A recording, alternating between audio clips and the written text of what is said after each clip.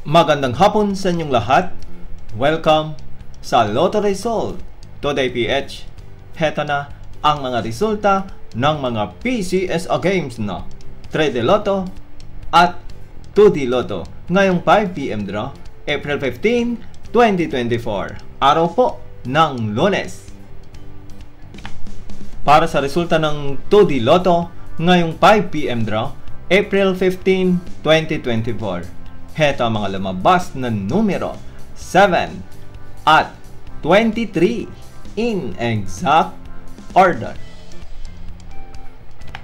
Para sa resulta ng 3D Lotto ngayong 5pm draw, April 15, 2024. Heto ang mga lumabas na numero 9, 3, at 7 in exact order. Muli, maraming salamat po sa panonood sa ating video ngayong 5pm draw.